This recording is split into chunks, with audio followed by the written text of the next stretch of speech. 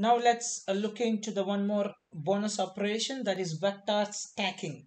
Vector stacking of ND array. This is widely useful for a technical guys. It may be automobile or electrical or electronics uh, because we need to work with a lot of vectors uh, in that uh, domain.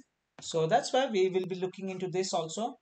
How do we construct how do we construct a 2D array from a list of equally sized row vectors? So if it is in MATLAB, MATLAB, uh, it's quite easy. You can just take x and y. These are two vectors of the same length and you only need to do m is equals to uh, open square bracket x and uh, uh, semicolon y and close the square bracket. With this operation, you can create a new a 2D array from a list of equally sized row vectors.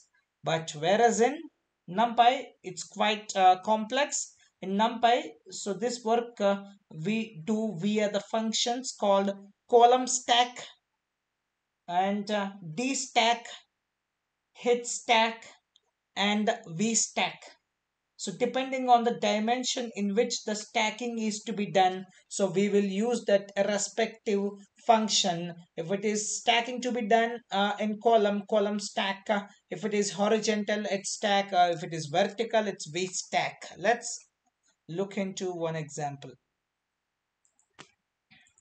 So this is vector stacking.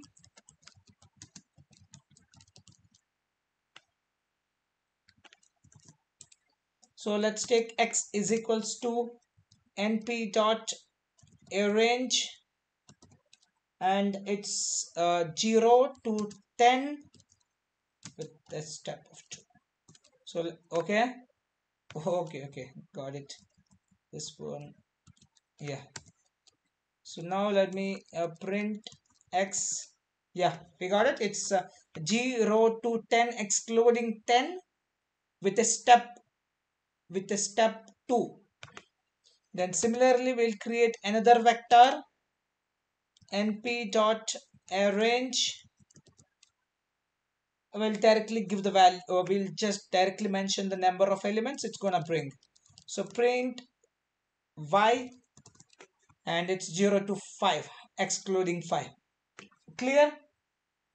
So now we want a a two-dimensional array from these two. So let me say x is x dot shape and y dot shape. So both are of same shape. So we just want to construct construct a, a 2D array from these equally sized row vectors x, x and y.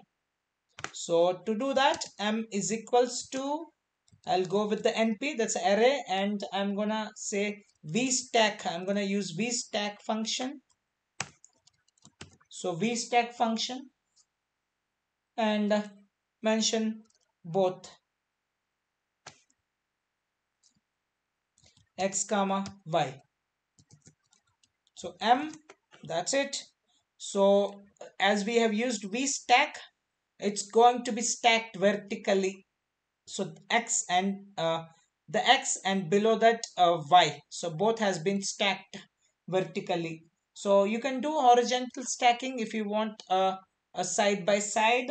And similarly you can do others also. So another way of doing the same operation just say xy is equals to np dot hstack. This is horizontal stacking. And say x comma y. These are the two vectors i want to join. And here is uh, the horizontal stacking. It's clearly visible for you. Uh, that's it. So the logic behind these functions is more than two dimensions can be strange